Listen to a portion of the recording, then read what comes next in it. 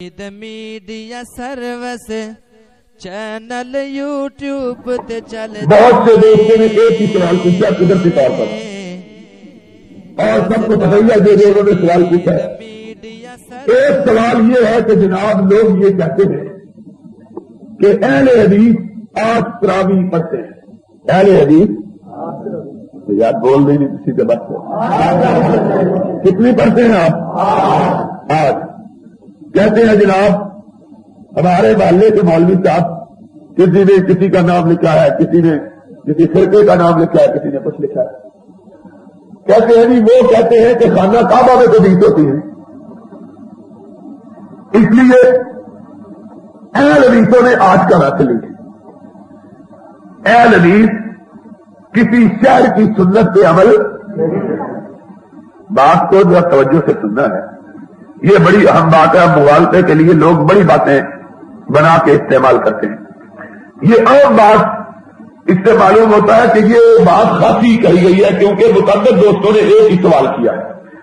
काफ़ी लोगों ने, ये पाँच छह दोस्तों ने यही सवाल पूछा कि जनाब, हमारे मोहल्ले का मौलवी, या फुला फिरके का मौलवी, या फुला गिरोह का मौलवी, ये कहता है? कि यार को तुम आठ नमाजे आठ रकत तरावी करते हो जबकि खाना काबा में बीस होती है। अब जरा तवज्जो के साथ बात को सुनना। अल्लाह के फजलो करम से ये सवाल मसल के अहले हदीस की हक्कानियत की सबसे बड़ी दलील है। ये एतराज़ नहीं समझे बात को। तवज्जो के साथ सुनोगे तो समझ आएगी। लिखा है कि आप बार बार कहते हैं कि नबी सल्लल्लाहु अलैहि वसल्लम ने आठ रकत नमाज़ पढ़ी है ये लिखा है कहते हैं जी हमारे मोहल्ले के या दूसरे दोस्त लिखा है, फलां फिरके के, या दूसरा कहता है, फलां गिरोह के, मौलवी ये कहते हैं कि, अहले जीतो तुम आठ पढ़ते हो जबकि काबे में बीस पढ़ जाती। मैं कहता हूँ, ये सवाल बताते खुद अहले हदीस की सच्चाई की सबसे बड़ी दलील है। किसी को भला समझ आई है बात? नहीं समझ आई।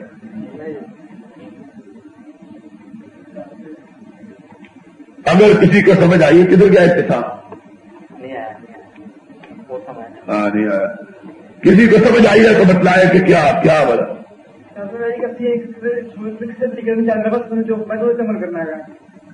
किसी को समझ आई हो तो बतलाए। बैठ जाओ। ये सवाल मुँह से बोल रहा है। ये सवाल मुँह से बोल रहा है कि कायनात में सिर्फ़ एक ही मसलक सच्चा है और अल्लाह के फजलो करम से हुआ हदीस का मतलब है। क्यों? इसलिए कि जितने लोगों ने सवाल पूछा है, उनमें से किसी एक ने यह नहीं कहा कि मौलवी ने आपके जवाब में ये कहा है कि नहीं। अलामा साहब झूठ बोलते हैं। या अली हदीस गलत कहते हैं। नबी ने आठ नहीं पढ़ी नबी ने बीस पढ़ी है। किसी ने यह नहीं कहा बल्कि ये कहा है कि मक्का में बीस पढ़ते हैं। इसका मतलब यह है कि आज के मुकाबले में नबी का कोई प्रमाण उनके पास मौजूद है। नहीं समझ आई बात की। अगर नबी का फरमान मौजूद हो तो शहरों का हवाला देने की ज़रूरत है। अच्छी तरह मसले समझो, अच्छी तरह। अच्छी तरह मसले को समझो। अच्छी तरह ये बात प्रोजेक्ट में दिखाओ। सारी सवाल मेरा जी नहीं चाहता किसी फिरके का नाम लेने का। लेकिन मुझे पता है, यहाँ के बहुत से मौलवियों ने ये कहा है। और बदकिस्मती से। एक ऐसे मौलवी ने भी कहा है जिसको लोग नींद आल नहीं समझते। उसने भी यही कहा है कि जनाब में बीत होती है। शर्म की बात है। दलील। अल्लाह ने क्या बनाया है इस्लाम के अंदर? या रब का कुरान है, या मोहम्मद का फरमान है। दलील क्या? ये दलील नहीं है मक्का वाले क्या करते हैं या मदीने वाले? ये दलील अगर रसूल के जमाने में एक मिनट के लिए मैं समझाने के लिए बात करता हूँ इसका भी जवाब दूँगा। समझाने के लिए बात करता हूँ। जब नबी सलाम तबलीग कर रहे थे तोहीद की सारा मक्का तो बोलते नहीं। मक्के वालों ने इतनी मुखालफत की कि मक्के से निकाला गया। हिजरत मक्के से ये नहीं कहा कि मक्के वाले ये कहते हैं। ये कोई दलील है नहीं। कुरान ने कहा फातू बुरहान को इनकुल तुम सादती बात करनी है तो दलील के साथ करो। जो कुरान में है वो दलील है जो मोहम्मद के परमान में है वो दलील है। शहरों के हवाले दलील है। और शहरों के हवाले कौन देते हैं? जिन्होंने शहरों के नाम पे मज़हब बना रखे जिन्होंने शहरों के नाम पे माफ़ करना ये देवबंद ये भी तो शहर का नाम है। किसका नाम है देवबंद? तो बोलो कुरान की किसी आयत का नाम है? हमने कभी किसी का नाम लेकर तनकीद नहीं की है लेकिन अफसोस है। क्यों गर्दशे मदाम से घबरा न जाए दिल? इंसान हूँ प्याला और सागर नहीं हूँ मैं। सबसे बड़ी अफसोस की बात है कि देवबंदी दोस्त जिनको हम अपने भाई समझते हैं और जिनके खिलाफ हमने कभी ज़ुबान कर सकते नहीं वो ऐसे मसले लोगों में फैलाते हैं। रेलवी नहीं ये कहते। सबसे ज़्यादा, और जितने दोस्त ने पूछा, देवबंदियों का नाम लेके पूछा। सबने यही कहा कि देवबंदी हजरात ये कहते हैं, देवबंदी ये कहते हैं। मुझे बड़ी तकलीफ़ होती है किसी का नाम लेते हुए। और खासतौर पर जिनको अपना दोस्त समझते हैं, उनका नाम लेते हुए तो ज़्यादा तकलीफ़ होती है। देवबंदी ये कहते हैं। ये देवबंद क्या है? क्या है देवबंद कुरान की आयत है? रसूल की हदीस है?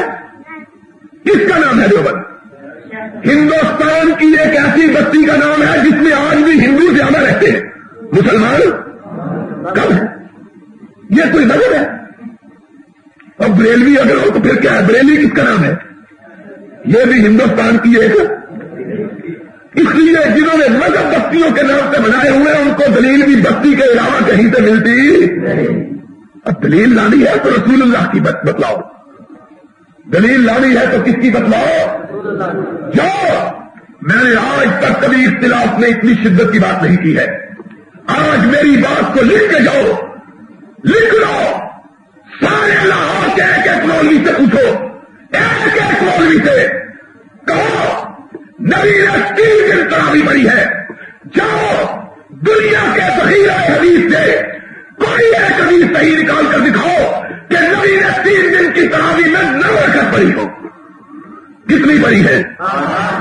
कोई बतलाए जाओ, सारे मौलियों को कहो बतलाओ मोहम्मद रसूलुल्लाह। सल्लल्लाहु अलैहि ने कितनी रकात पढ़ी है? और किसकी हदीस है? उम्मुल मोमिनीन की। किसकी? बोलो किसकी?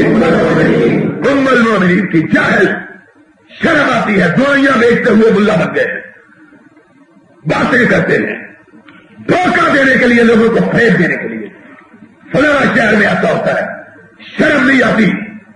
दलील देते हुए, अगर फलाना शहर की बात करते हो मक्के मदीने की बात करते हो तो आओ, मुझे यह भी मंजूर है मक्के मदीने में हर रियाज के अंदर बुलंद अमीन कहा जाता है।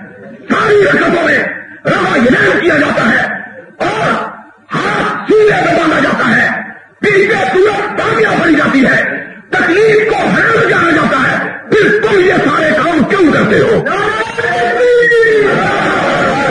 ये कुछ नहीं है। अगर पकड़नी है दलील तो सारी लोग मीठा मीठा हाथ और कड़वा कड़वा ये कोई बात है? आज अपनी मर्ज़ी का, एक मसला अपनी मर्ज़ी का बाकी का है? तो बात है? यहाँ फतवे देते हैं। ब्रेलवी कभी एक बंदे ने लिखा हुआ है तो ब्रेलवी दोस्त भी कहता है फतवे ये देते हैं कि हरम के इमाम के पीछे नमाज़ अदा। और बोलो फतवे छपे हैं कहीं पाकिस्तान में? दस्तरावी के वाले के लिए इमाम हरम याद आ गया है। फतवा है? और अच्छे खासे पढ़े लिखे लोग, ये मौली अब्दुल सतार में आती हमारा दोस्त शाह नूरानी सियासी होने के बावजूद इनका फतवा यह है कि न काबे के इमाम के पीछे नमाज़ होती है, न मदीने के इमाम के पीछे नमाज़ होती है। शर्म की बात है। और जो काबे का इमाम है, जो मदीने की मस्जिद का इमाम है, उसके पीछे नमाज़ तो नहीं होती, उसकी तरावी हिज्जत है। उसकी तरावी अजीब बात है। फिर मदीने के इमामों ने बड़े बड़े सहाबा के इमामों के कुब्बों को, पक्की कब्रों को गिराया है, ट्रैक्टर चलवाया बोलते क्यों नहीं? और याद रखोगे मसला कि नहीं ऐसा खाना लगाओ लोहार का कि अंदर कभी कोई ना बोले।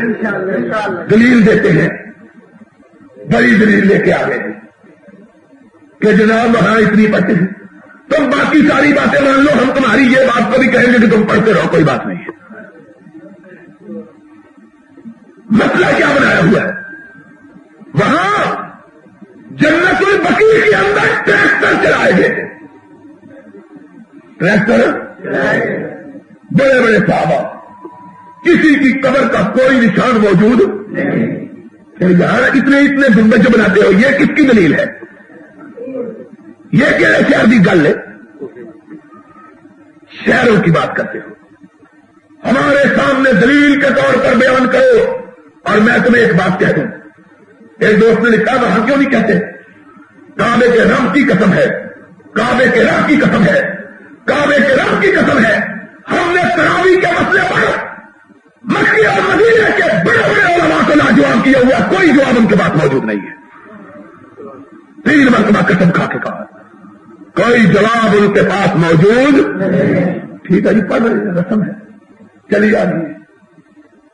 और फिर इनको इतना नहीं पता कि काबे के मुख्तलिफ़ अयाम में मुख्तलिफ़ चीज़ें रही मक्के, मदीने में चालीस रकतें भी तरावी पड़ी जाती रही हैं। मदीने में चालीस रकतें भी तरावी पड़ी जाती रही है।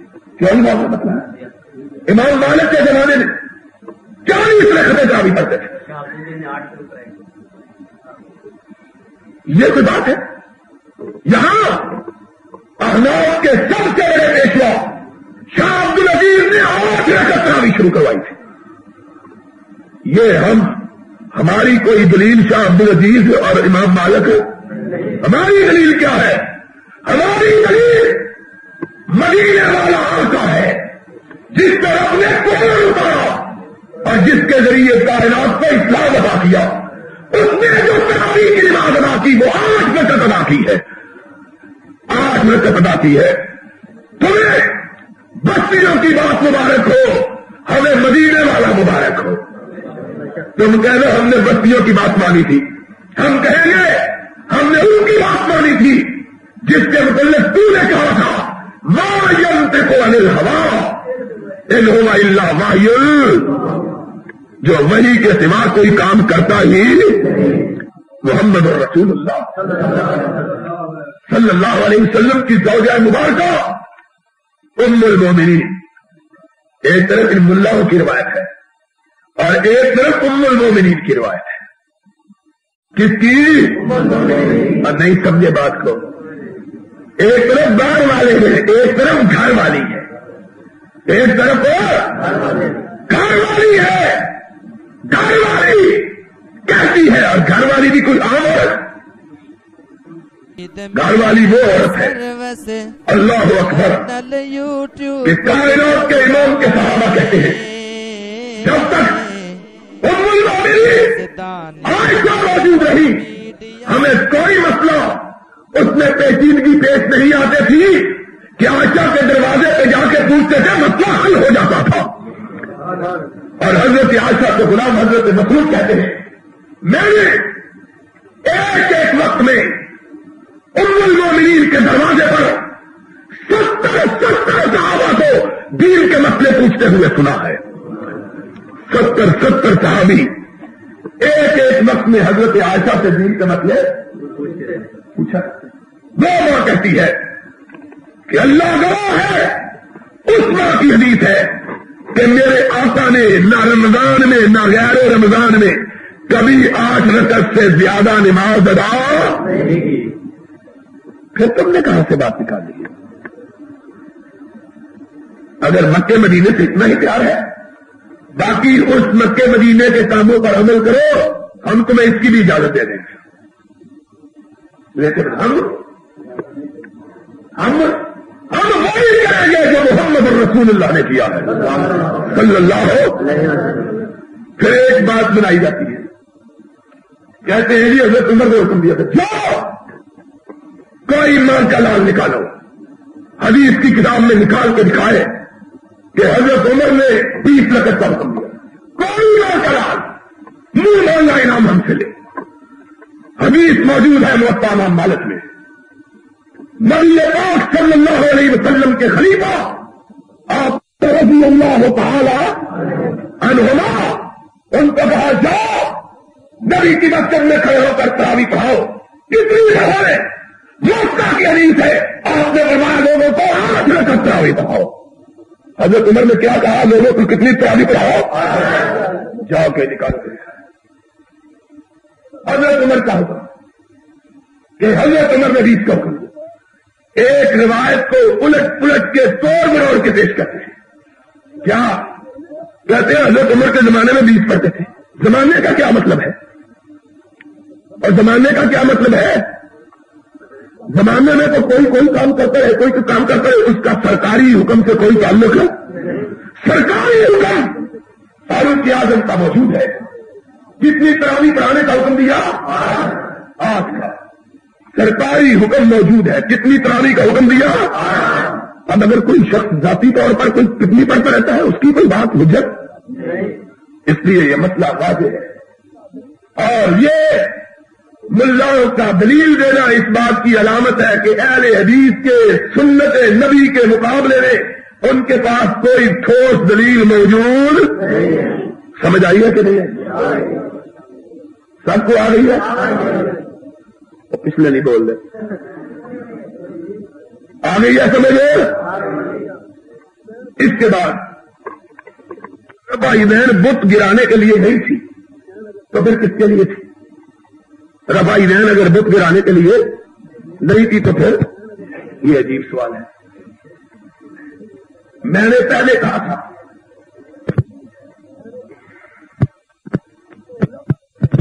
कहा था कि रफा यदैन से बुत गिरते और अगर रफा यदैन से बुत गिरते हो तो पहली दफ़ा जब नमाज़ की नीयत बनी है, तब रफा यदैन नहीं थी बोलो।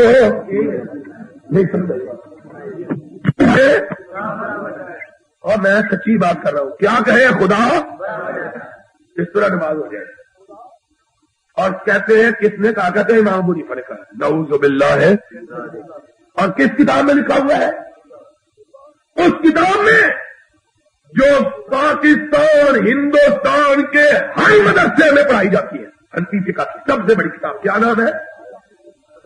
अल हिदाया। क्या नाम है किताब का? हिदाया शरीफ। इसको कहते हैं? हिदाया शरीफ। और उसके ऊपर लिखा हुआ है, अल हिदाया कल कुरान, हिदाया कुरान की तरह है। उस किताब के अंदर क्या लिखा है? कि अगर नमाज़ में अल्लाह अकबर की बजाय किसी और ज़ुबान में कहे, खुदा बड़ा बजा है तो नमाज़ हो जाए।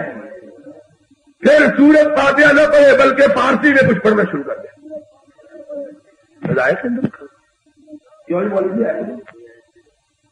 ना हो तो मैं मुजरम। जाओ किसी माँ के लाल को कहो तरदीद करके दिखाया सारे पाकिस्तान में जाओ। पूछो एक मुल्ला से। अब ये बात कुरान के मुताबिक है? रसूल के प्रमाण के? नबी तो कहते हैं कि जिससे फातिहा नहीं पड़ी, उसकी नमाज़। रखे फारसी पढ़ लो। फिर इसी हिदायत के अंदर, फिका की किताबों के अंदर लिखो। याद करो। हदीस में आया है, नमाज़ का आगाज़ तकबीर से, नमाज़ की इब्तदा और बोल बोलो नमाज़ की इब्तदा और नमाज़ की इंतहा। सलाम से। नमाज़ की इंतहा, नमाज़ की इब्तदा तकबीर से नमाज़ की इंतहा। फिका के अंदर लिखा हुआ है कि सलाम फेरने से पहले ही आदमी जानबूझ के खारिज कर दे नमाज़ हो जाएगी। क्यों नहीं मौली जी लिखा कोई खुदा का खौफ करे? मेरा ये अकीदा है कि इमाम साहब ने ऐसी बातें बिल्कुल ये साहबों में तुमने बना दी है। इमाम साहब के जमाने में किताब कोई लिखी इनकी इन किताबों के हवाले रसूलुल्लाह की हदीस के मुकाबले में रखते हैं। और उस हदीस के मुकाबले में जिसको ये भी कहते हो कि इसकी हर हदीस सही है, इसमें कोई हदीस गलत है फिर फिर इसके मुकाबले में किसकी बात करते इसलिए इमाम साहब ने बड़ी सच्ची बात कह दी है। मसला खत्म कर दिया। अब इनके मुकाबले में, नबी के फरमान के मुकाबले में किसी का सिक्का और किसी की बात चल सकती। सीधी सीधी बात है। इमाम साहब अलैह ने साफ़ तौर पर इसलिए कह दिया कि कोई मेरे कॉल पर अमल न करे रसूलुल्लाह की हदीस के। मुकाबले गलती हो जाती। हम हर रोज गलती करते हैं। कोई बंदा ऐसा नहीं जिससे गलती। लेकिन मदीने वाले से गलती। इसीलिए उलमा ने मुतबका तौर पर कि जो बंदा भी बात करे, उसकी बात उस वक्त तक मानी जाएगी जब कुरान और सुन्नत के मनाफी, और अगर कुरान और हदीस के खिलाफ है तो उसकी बात को तस्लीम किया जा सकता। ये मेरे ख्याल में मसला अच्छी तरह समझ में आ गया। एक भाई ने और पूछा है बांडों की खरीदो फरोख्त जायज़ है? बांड लेना भी नजायज बांड। देना भी नहीं, पर अफसोस की बात है। अल्लाह ताला हमको किनात की ज़िंदगी अता फरमाए।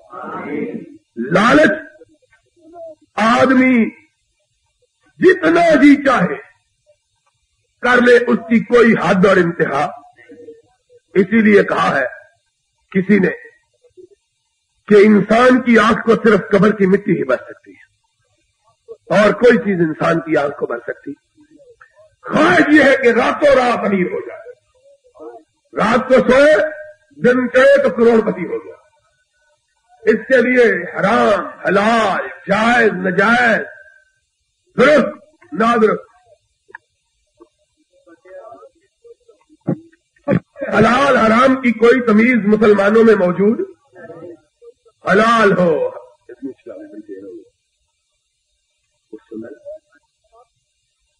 इसके लिए कोई हलाल हराम की तमीज मुसलमानों के अंदर मौजूद? चाहे हलाल हो, चाहे हराम हो। और इसको रहने दो। स्पीकर मैंने कहा। कोई हराम हलाल की तमीज नहीं। और अफसोस की बात है। इन बांडों की लानत ने लोगों के कारोबारों को तबाह करके रख दिया। महीने की आखिरी तारीखें होती हैं, लोग बांड खरीदना शुरू कर देते हैं। सारे कारोबार ठप हो जाते हैं। सारी दुनिया कोई बांड लेने पे लगा हुआ है, कोई बांड देने पे लगा हुआ अल्लाह के बंदो, आदमी अल्लाह से रिजक मांगे तो हलाल का मांगे। कि अल्लाह हम सबको रिजके हलाल अता हराम का क्या? जितना जी चाहे आदमी कमा ले, कोई हराम उसके पेट को भर सकता हलाल रिजक की तलाश। और याद रखो एक मसला। अल्लाह रब्बुल इज़्ज़त ने कुरान मजीद के अंदर अपने नबियों को और अपने मोमिन बंदों को, दोनों को एक हुक्म दिया। और याद रखना मसला, नबियों को भी वही हुक्म दिया जो कि मोमिनों को दिया। और इस हुक्म को इबादत पर मुकदम रखा। इस हुक्म को इबादत पर क्या कहा या अय्यो हर रसुल, कुलू मिलत ये बात वामलू सालिहा। ए रसूलो, हलाल खाओ, फिर मेरे दीन की तबलीग करो। पहले हलाल खाओ, फिर मेरे दीन की तबलीग करो। मोमिनों को भी कहा, या अय्यो अल्लजीन आमनू, कुलू मिन तय्यबात मा रज़क़नाकुम, वशकुरू लिल्लाह। ए मोमिनो पहले हलाल खाओ, फिर रिज्क हलाल। कमाओ, खाओ, फिर अल्लाह की इबादत करो। इसलिए मसला याद रखो, अगर कपड़े पलीद हो तो नमाज़ अदा, कपड़े पलीद हो तो इबादत कबूल। कपड़े किसके ऊपर पहनाते हो? मिंबर के ऊपर? जिसम के ऊपर, इस चमड़ी के ऊपर। अगर कपड़े पलीद हो तो नमाज़ अदा। जो चमड़े के ऊपर, और अगर चमड़ा पलीद हो तो। अगर चमड़ा पलीद हो तो नमाज़ हो जाएगी। इसीलिए सबसे पहली ज़रूरत है कि इस चमड़े को पाक रखा जाए। इस जिसम की जिल्द को पाक रखने का तरीका क्या है? इसका तरीका यह है कि अकले हलाल का बंदोबस्त हराम से बचे, अपनी औलाद को बचाए। और याद रखो, अल्लाह के फजलो कर्म से जो आदमी हराम से इज्तनाब करता है, अल्लाह उसके हलाल में बरकत अदा फरमा देता है। उसके हलाल में अल्लाह और हराम के अंदर कभी बरकत आती और एक बात मेरे तजुर्बे की सुनो। अगर कोई दीनदार आदमी हराम का इंतकाब करे, जितनी जल्दी उसको पकड़ होती है, बेदीन को इतनी जल्दी पकड़ क्यों? बेदीन को अल्लाह कहता नाफरमान है। इसको और ढील दो ताकि इसका अच्छी तरह बेड़ा गर्क किया जाए। लेकिन दीनदार जरा हराम का इंतकाब करे, अल्लाह फ़ौरन पकड़ ले दावा दीन का करता है, खाता हराम है, फ़ौरन गिर, इसलिए याद रखो। अपनी रोटी को पाक रखो, जिसकी रोटी पाक नहीं, जिसका रिजक पाक नहीं उसकी नमाज़ भी अल्लाह के यहाँ किसी कीमत में कबूल हो सकती उसकी कोई बात नहीं। इसके बाद फिर एक दोस्त ने सवाल किया है इतिकाफ के बारे में। माशाअल्लाह इतिकाफ करने वाले अल्लाह के फजल से मस्जिद में बहुत ज़्यादा है। तो गिने भी है किसी ने कि नहीं? है? माशा इतने मेरे ख्याल में किसी मस्जिद में नहीं हो गया खातन और मर्द मिला के बतला रहे हैं कि सत्तर है माशा पूछ रहे हैं कि अगर किसी ने ज़रूरी काम से जाना हो कार छोड़ के जा सकता है? किसी बंदे ने मारे में जाना तू। मतलब क्या ज़रूरी काम इसका पड़ गया है? जिसको ज़रूरी काम पड़ गया उसने काफ़ी क्यों बैठना है? क्या ज़रूरी काम है? मैंने ये बतलाया था मसला कि एहतिकाफ का माना यह है कि ज़रूरी और गैर ज़रूरी कामों को छोड़कर अल्लाह की लिए तनहाई में बैठना। ज़रूरी और गैर ज़रूरी कामों को छोड़कर अल्लाह के लिए।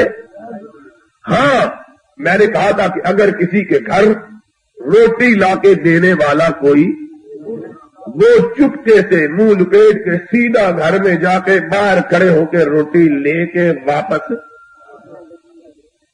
घर में जाके गुफ्तगु या दाखिल होके बातें, सीधा जाए, दरवाजे से रोटी लेके चला जाए। लेकिन अल्लाह के फजल से ऐसा मेरे ख्याल में कोई भी आदमी नहीं है। क्यों भाई? बाकी और ज़रूरी कम की है। पिछली दफ़ा मैंने आपको बताया था, लतीफा थी। तीस मैंने बतलाया था, हमारे एक दोस्त है, बहुत बड़े बड़े माशाल्लाह। वैसे तो हिम्मत आदमी है। वो इस कहा बैठे, उनकी सास फौत हो गई। मैं घर में गया हुआ था। उनका टेलीफोन गया। क्या लगे मेरी सास फौत हो गई है। मैं अच्छा इन्ना लिल्ला है क्या लगे फिर अब क्या करें? मैंने कहा दुआएँ मगफरत करें। क्या लगे मैं जनाजा पढ़ा हूँ।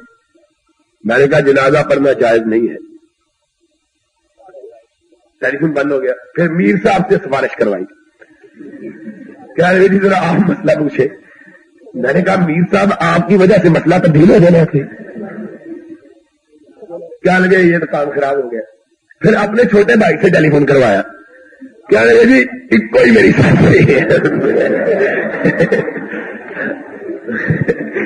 मैंने कहा कि पाकिस्तान में होती है कि है। ये तो अरब तो नहीं है, जिसमें चार चार होती है। सात तो एक ही होती है। क्या ये तो काम खराब हो गया। क्या जी, और ये मेरी बीवी बड़ी रो रही है। उसको चुप कराओ उनको अपने घर वालों को चुप कराए।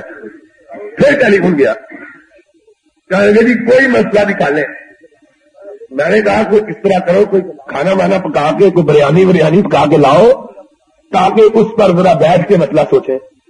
मौलवियों ने यही काम बनाया हुआ ना। हमारे यहाँ एक यहाँ एक आदमी होता था, अल्लाह उसको मुआफ करे, मर गया बेचारा। उससे कोई मसला पूछने जाता तो कहता कितने वाला पूछना है? पहले पूछते थे मसला पूछना है कितने वाला पूछना है? बेचारे लोग, साधे लोग, उसने पहले ही पचास रुपए निकाल के देने मसला उसको लिख देना। उसके बाद उसका कोई मुखालफ आ जाता। उसने कहा, हज़रत, आपने वो मसला बतला दिया और मेरा तो बेड़ा गर्क हो गया। कहता अच्छा तो भाई उसने तो पचास रुपए वाला मसला पूछा था। उसने सौ निकाल देना उसके उलट मसला बयान कर देना। रोता हुआ आता है पहला। क्या बेड़ा गर्क हो गया साहब, आपने मुझे पहले ये क्या अल्लाह तो तुम पचास रुपए तुम सारा मसला बयान कर देना ये कोई मतलब नहीं। अब मैंने उनको कहा कि भाई, सीधी सीधी बात है कि मुझे इतना क्यों मजबूर करते हो? इतना तोड़ दो और क्या? अगर वो चाहते हैं कि यहाँ जनाजा ले, ठीक है, नहीं तो मेरे साथ तोड़ दो। यही असल मसला कि अगर किसी को कोई ऐसी मुसीबत पड़ गई है कि उसके बगैर उसका गुजर नहीं हो सकता तो इसका तोड़ दो। अल्लाह से मुआफी मांगे, अल्लाह माफ़ कर दे। लेकिन ये है कि कोई ज़रूरी काम के लिए जा सकता है कि गैर ज़रूरी के लिए नहीं जा सकता है। नबी अकरम हज़रत मोहम्मद सल्लल्लाहु ने इरशाद फरमाया है कि एक साथ बैठने कोई अजीब हो उसके जनाजे में भी शामिल हो सकता है।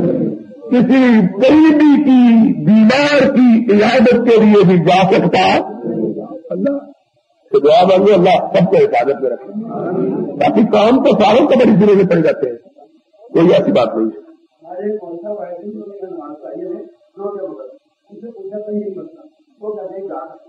तो बड़ा समझ नहीं आई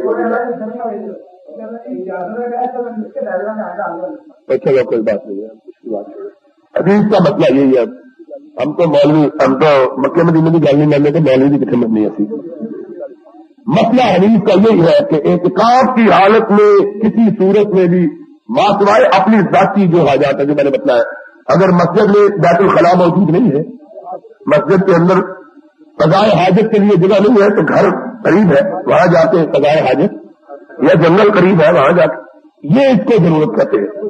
बाकी और काम दुनिया के, या कोई इसकी कोई शरीयत के अंदर इजाज़त है, हदीस के साफ़ अल्फाज है कि बीमार की अयादत नहीं कर सकता, जनाजे में शमूलियत है। इससे बड़ी ज़रूरत है, क्या हो सकती? इसके बाद फिर क्या बात रह गई? डॉक्टर को बुला लें यार को तो ज़रूर बीमार कर ले का फले अच्छा जी, एक मसला।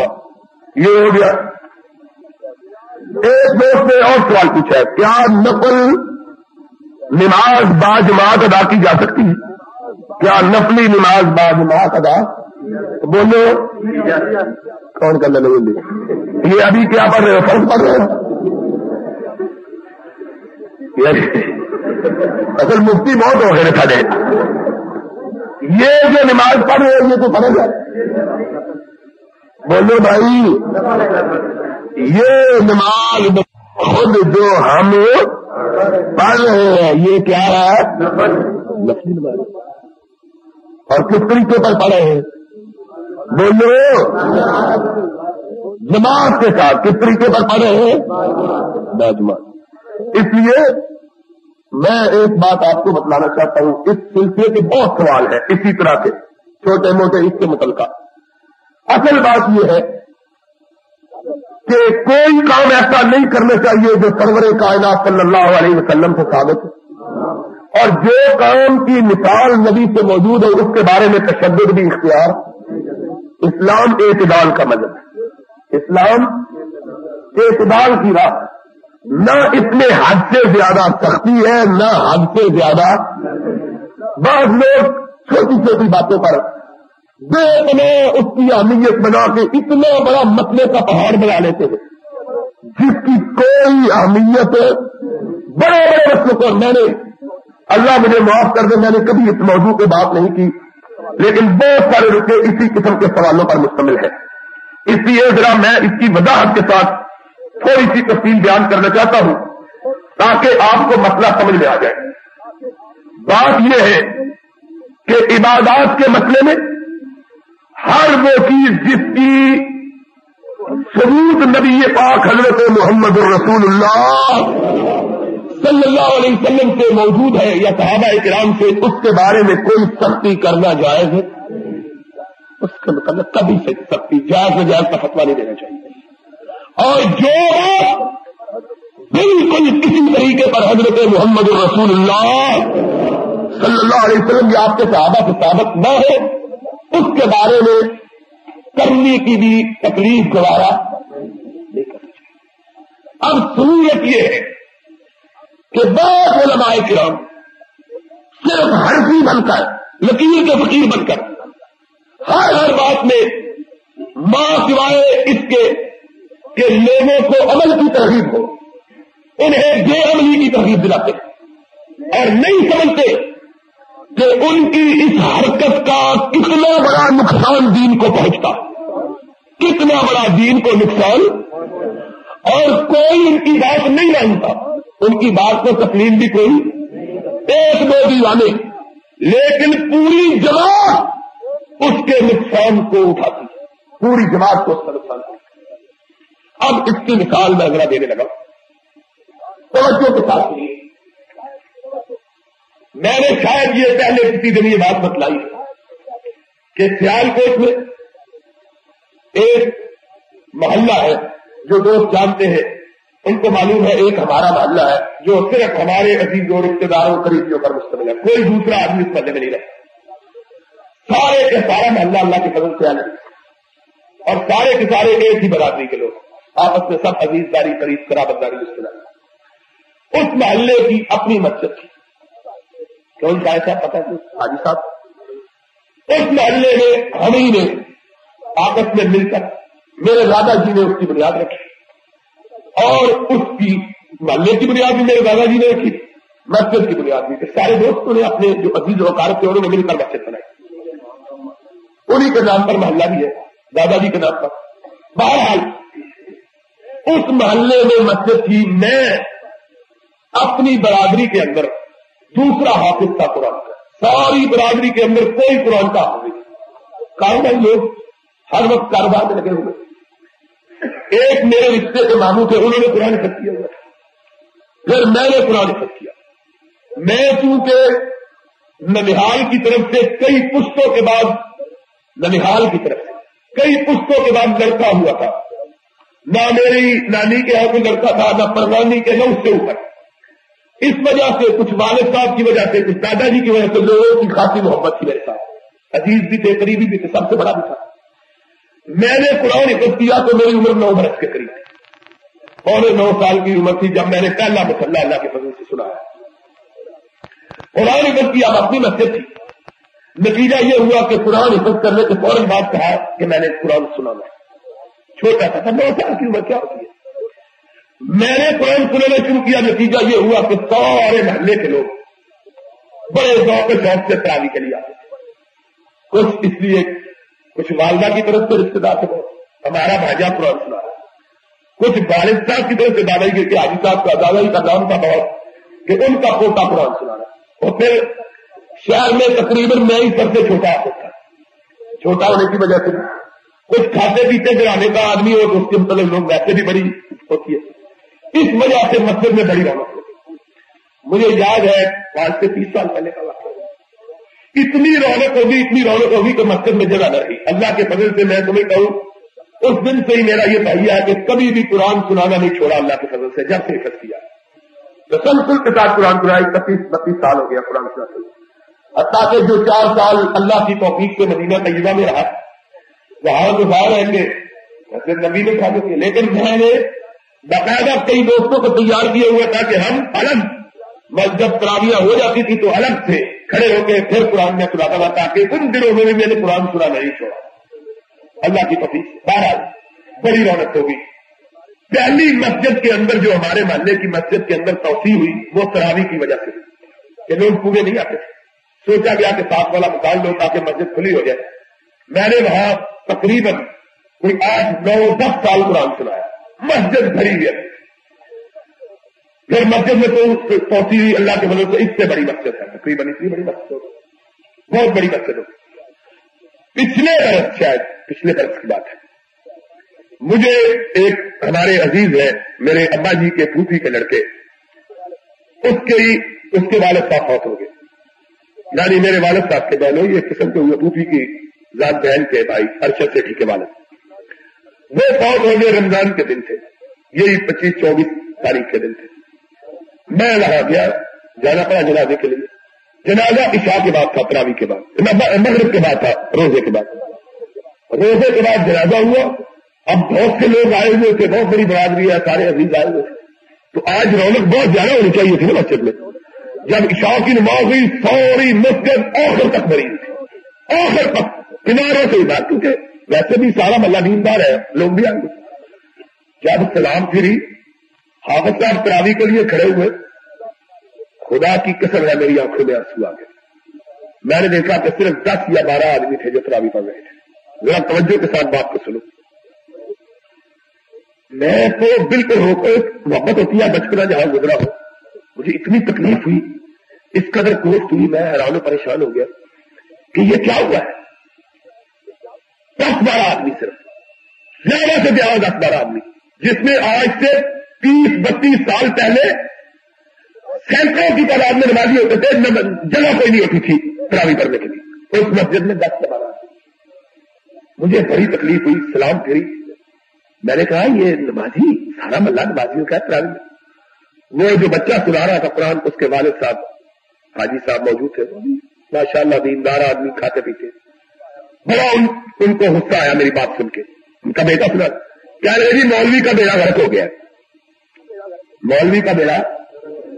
मैंने कहा क्या हुआ है? मौलवी बैठा हुआ था। वो छुटका हो गया। हाजी साहब ने भी मौका जाना कि आज ही आया हुआ मसला दरवाजे हो जाए। मैंने कहा क्या हुआ? उसको बंद कर मैंने कहा जी क्या हुआ है? क्या लगे जी इस मौलवी ने मसला बयान करना शुरू किया कि तरावी घर जाके पड़े पिछले वक्त को अफसर है। तरावी घर जाके पड़े तो पिछले घर को मुझे इतना गुस्सा आया, मैं तो सही बात है। पहले कभी, आज से पंद्रह बीस साल पहले कभी इतना गुस्सा था। मुझे इतना गुस्सा आया, मैंने मौलवी को बड़ी सख्ती के साथ पकड़ लिया। ये बात बिल्कुल वही जो मैंने अभी आपको बतलाई हज़रत आपके जनाजे के दिन बिल्कुल वही बात है। मैंने मौलवी को पकड़ के कहा, मैंने कहा, बदला इस मस्जिद को तूने बर्बाद किया। कयामत के दिन रब को क्या जवाब कह रहा मैंने मसला नहीं किया। मैंने कहा, मसले के बच्चे मस्जिद के अंदर बैठा हुआ है।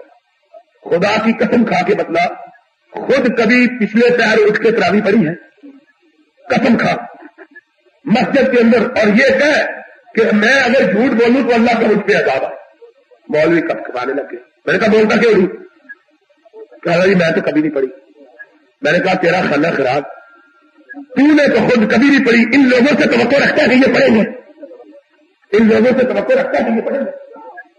तू मुल्ला होकर नहीं पढ़ता लोगों का बेड़ा गर्क किया है, मसला बतला के खुद अदा नहीं करता। इनसे तो रखता है कि ये कहें पूरे बिल्कुल ये नहीं जानो। सुन लो आज मसला मैं ये बयान करने लगा ये भी सवाल पूछा है लोगों ने। कभी तीन दिन पड़ी है। हज़रत मोहम्मद सल्लल्लाहु अलैहि वसल्लम की हदीस है।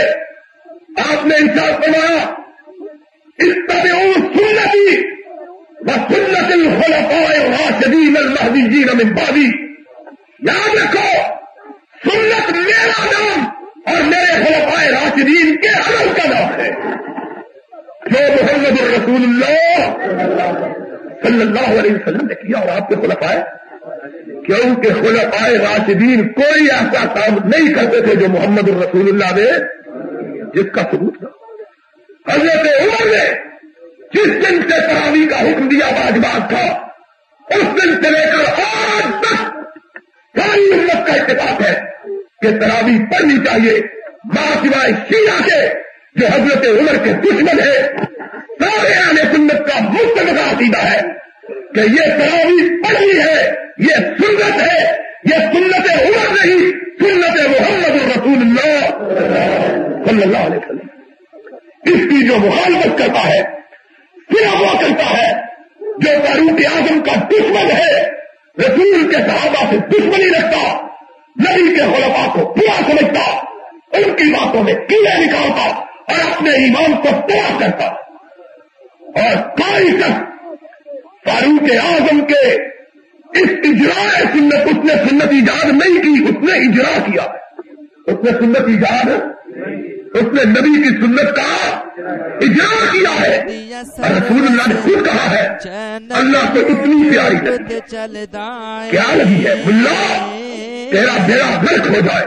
और मैं सुन लो मैं आज बात कहने लगा।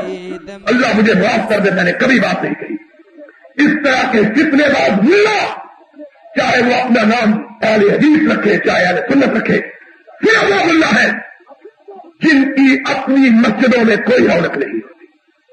जिनको खुदा ने कोई कहने की बात का तरीका आता और नहीं समझ आई बात की। जिनको खुदा ने बात कहने का कुछ तरीका आता हसन सही की बात है। कौम को बेअमली की कहता ये बदलाव अगर इस तरावी की कोई हैसियत नहीं। तो मोहम्मद रसूलुल्लाह की हदीस कहा जाएगी?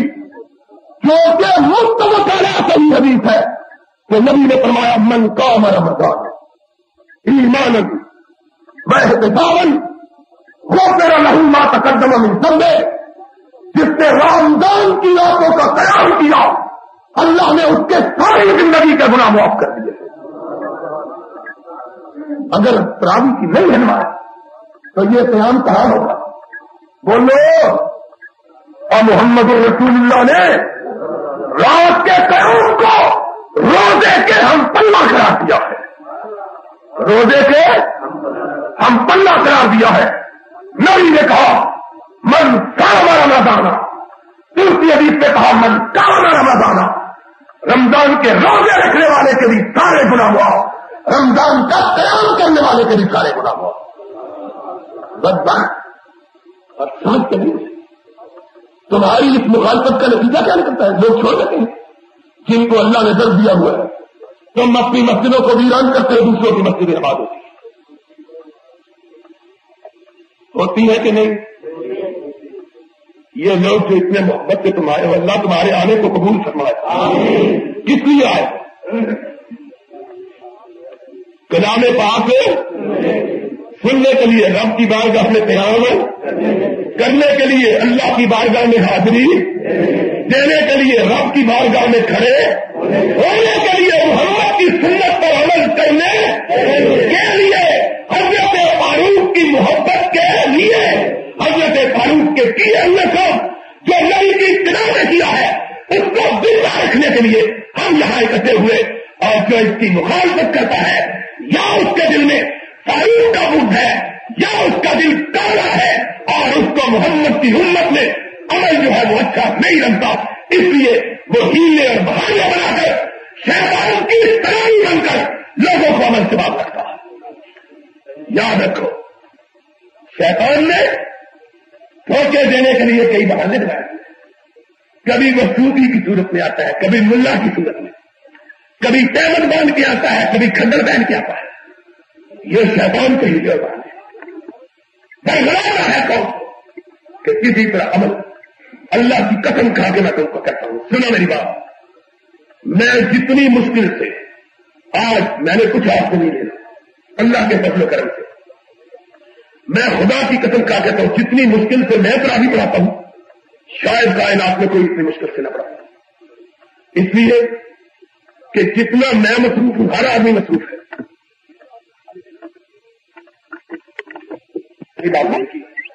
जितनी मैं मुश्किल से पढ़ाता हूँ शायद क्योंकि जितना मैं मसरूफ हूँ। अल्लाह जानता है कि कोई एक मिनट ऐसा नहीं होता जब मैं फारग या लिखने का काम, या पढ़ने का। लोग सुबह से लेकर शाम तक रोजा खोलने तक लोग मुझे नहीं छोड़ते। सोया हुआ होता हूँ, लोग पहुँचे होते अपने बच्चों का मसला, दीन के मसाइल, दुनिया के मसाइल, जमात के मसाइल। फिर सारा साल कुरान पढ़ने का मौका नहीं मिलता सीधी बात सारा साल थका पड़े इसके बावजूद थका हुआ होता हूँ, बीमार। लेकिन क्यों आता मैं अल्लाह की कसम खा सकता हूँ। इन रातों में मुझे आसमान से रहमतें उतरती हुई दिखाई देती है। खुदा की कसम है, मैं अल्लाह को गवाह बना कहता हूँ। जब मैं यहाँ आपको देखता हूँ कि आप दीन के लिए यहाँ बैठे हुए दुनिया वाले सोए हुए लोग आराम कर रहे कोई टीवी देख रहा और आप रब की बारगाह में बैठे हुए अल्लाह की कसम है, मुझे अपनी आँखों से रब की रहमतें आसमान से उतरती हुई दिखाई देती है। और मैं आज आपको बात बतलाऊं कि मुझ फकीर पर जितना रब ने कर्म किया, मैं अपनी बात करता कल की बात है, मेरे पास बाइसिकल भी नहीं थी और कोई मुझे जानता नहीं था। आज अल्लाह की नेमत के बयान के तौर पर कहता हूँ कैनेडा से लेकर घाना तक और मराकश से लेकर इंडोनेशिया तक कोई भी ऐसा नहीं है, अल्लाह के करम से जहाँ मुझे लोग न जानते। जहाँ से दावत ना मिला हूँ अल्लाह ने दुनिया भी अदा की। नाम भी बख्शा। मैंने बताया था, पिछले वर्ष में अमेरिका के अंदर गया। अमेरिका की कैरोलिना रियासत के अंदर। जो न्यूयॉर्क से इतनी दूर है कि न्यूयॉर्क के वक्त में, और उसके वक्त में सात घंटे का फ़र्क है। आखिरी किनारे में बात कैरोलिना में और उसके एक इंतहाई आखिरी शहर नेशनल में मैं मौजूद था वहाँ कॉन्फ्रेंस मैं कॉन्फ्रेंस के लिए उसी होटल में एक होटल की नाम वहाँ ठहरा हुआ नीचे उतरा। कॉन्फ्रेंस हॉल में तकलीफ़ के लिए। मैं तकरीर के लिए जब नीचे उतरा तो दो आदमी मेरे पास आ गया। क्या लगे, आपका नाम निशान नहीं चाहिए मैंने कहा, मेरा नाम है। क्या लगे, हम कैनेडा से आए। हमने अखबार में खबर पड़ी है कि आप अमेरिका आए हुए दुनिया अमेरिका के लिए आखिरी कोने मैं मोदी उनने कहा उनने पूछा कि कहाँ होंगे आज? उनने कहा कि लिस्टन में होंगे। हम से आए हैं आपके लिए। मैंने कहा क्यों आए हैं? लगे लोगों को आपका पता चला है कि आप आए हैं। उन्होंने हमें टिकट और पाँच हज़ार डॉलर दे के भेजा है कि आप खुदा के लिए, आठ दिन की खाता आठ दिन के लिए हमारे यहाँ कैनेडा में आ जाए। मैंने उनका शुक्रिया अदा किया। मैंने कहा, पैसे, अल्लाह का शुक्र है कि जब कुछ न था, तब भी कभी पैसे नहीं लिए थे। और जहाँ तक जाने का ताल्लुक है, बहुत दिन हो गए हैं, मैंने हज के लिए जाना है। मैं इंशाला वादा करता हूँ कि अगले बढ़ पाऊँगा तो ज़रूर आऊँगा। जब वो गए, मैं वापस चला गया, मुझसे अपने जज्बात पे काबू मरा उन्होंने कहा, फिर हम आपकी तकरीर सुन के जाएँगे। हम तो सिर्फ़ कैनेडा से आपकी तकरीर सुनने और आपको दावत देने के लिए आए। मैं जल्दी से कमरे में गया।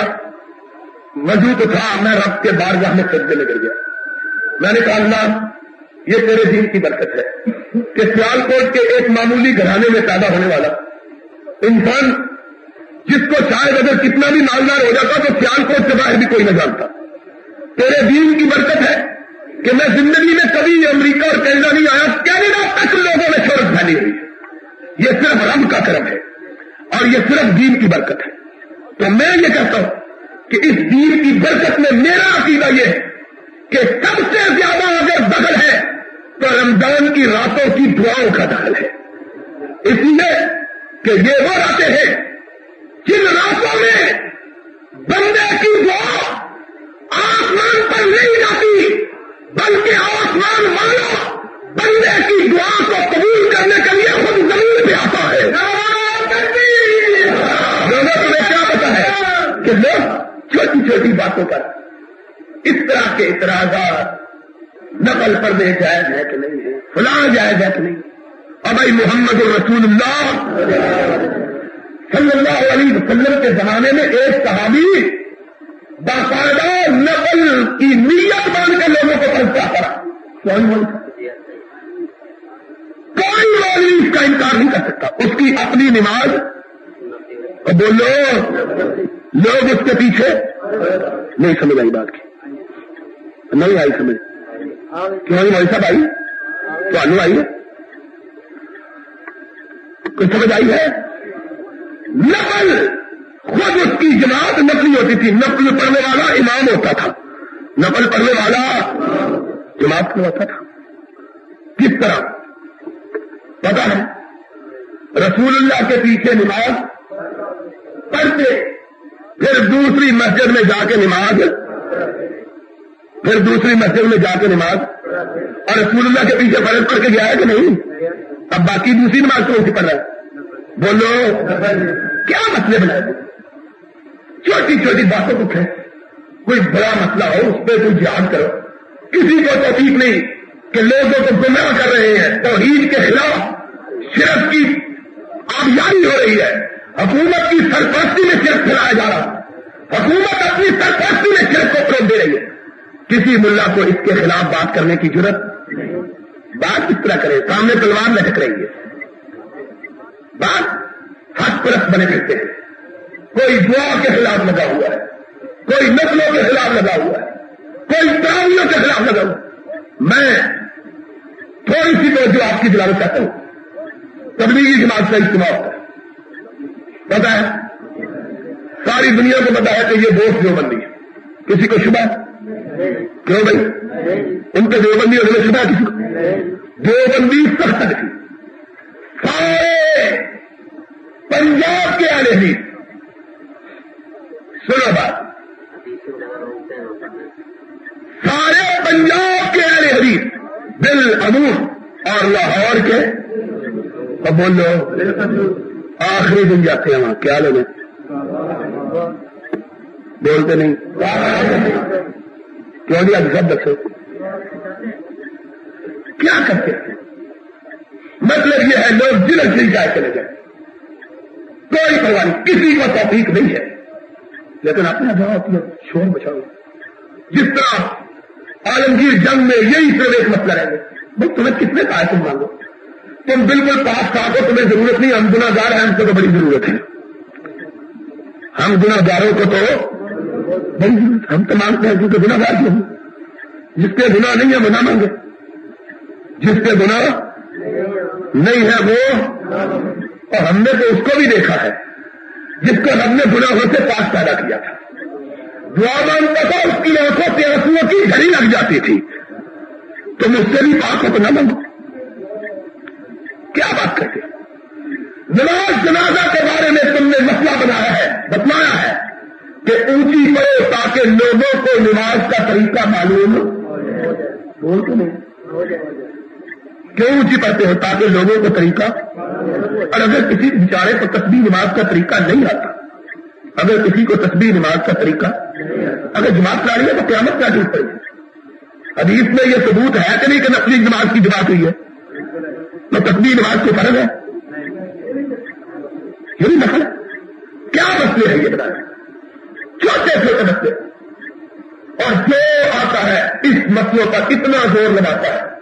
और जिस चीज़ का सबूत हज़रत मोहम्मद रसूलुल्लाह, हमने कभी आज तक, यानी अठारह साल के अर्से में मैंने आज तक कभी तस्वीर नमाज़ नहीं पढ़ाई मैंने आज तक कभी तस्वीर नमाज़ कभी जमात नहीं लेकिन अब इतने बेशुमार लोग हैं बेचारे को तरीका ही अगर उनको तरीका नहीं आता, उसके लिए कोई नकली नमाज़ की सूरत में जवाब करवाया था तो इसमें गुना क्या?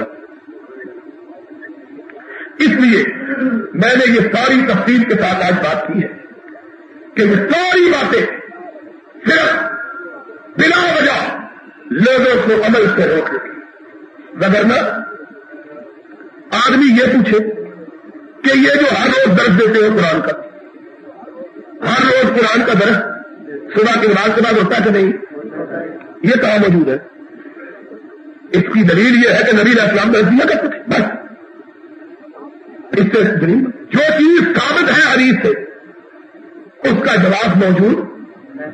इसलिए इन बातों में बिल्कुल ही उलझना चाहिए मैं समझता हूँ कि जो बंदा इन बातों में उलझता है, वो अपने अमाल को जाया करता है। और कोई फ़ायदा उसको हासिल अपने मतलब का भी नुकसान करता है, और अपनी जमात का भी नुकसान करता है, और अपने अमलों का भी नुकसान करता है। दोस्तों, इसके बाद, इस मसले के बाद एक आखिरी बात जो मैं कहना चाहता हूँ, वो ये कि आदमी को दीन के मामले में बेकार मुबासे का जिसका कोई हासिल होगा उन बहसों में अपना वक्त फजूल जाया। हाँ किताब और सुन्नत के मुताबिक। अल्लाह रसूल की बात उस पर जितना भी वक्त लगाए, ये सवाब की बात। लेकिन बिला वजह जदलो मुजादला ये शरीयत के अंदर जाए खुदा आलम ने कुरान में भी इसको मना किया मोहम्मद रसूलुल्लाह सल्लल्लाहु अलैहि वसल्लम ने अपने फरमान में भी इसको मना किया इसके लिए कोई ऐसी बात नहीं करनी चाहिए। आखिर में इंशाअल्लाह नजीब कल जक़ात के मसाइल बयान हो गए।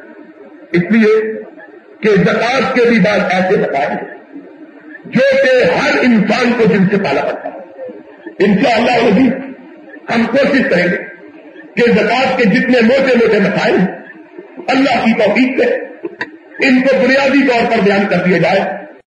बिस्मिल्लाहिर्रहमानिर्रहीम। अस्सलाम वालेकुम वरहमतुल्लाह। तिलावत कलाम हकीम जयद उलमाए किराम की तकारीर नित नए जहादी तरानों के वॉल्यूम्स। साफ़ और बेहतरीन M P X sound filter पर पाकिस्तान भर में बेहतरीन ऑडियो सीडीज रिकॉर्डिंग का मरकज। अलकासिया केसट सीडीज व कुतुब लाइब्रेरी, चार lake road, Chauburji Chowk, Lahore. Phone सात दो तीन सिफर पाँच चार नौ।